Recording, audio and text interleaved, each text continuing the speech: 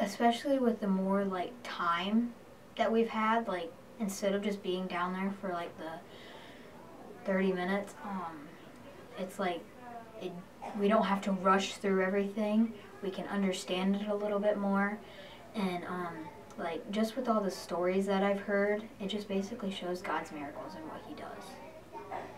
That has helped me um, a lot. Um, we um, they will explain it, and we do crafts to help us understand it a little more better. But yet, um, we do we watch videos that help us understand too.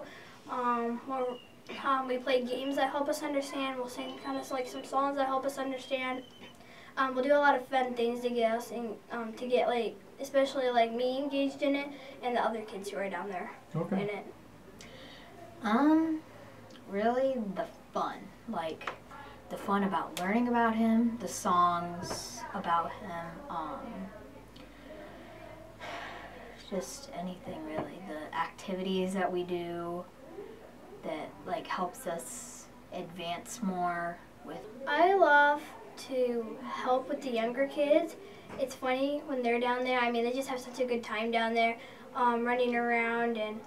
Um, I got to help play a game last time with them, and they had to act like something kind of like charades to go with our um, verse that we were going over. And it's funny; they really enjoy it. Good. They like to get into it. um, I went to preschool at a church, and we just we've talked about God ever since when I was maybe a little bit younger. My mom would read us stories from the Bible, Okay. and but definitely preschool. Okay. Okay. So you would say your mom was really helpful in that? Yes, my mom was very helpful, Okay. and definitely my preschool that really helped me out.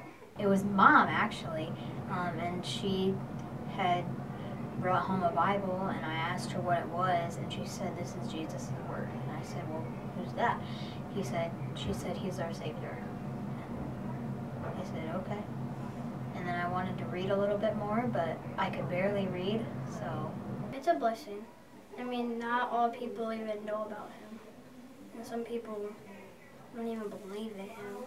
And so I'm glad I do. I mean, I'm very fortunate. It's awesome. Yeah.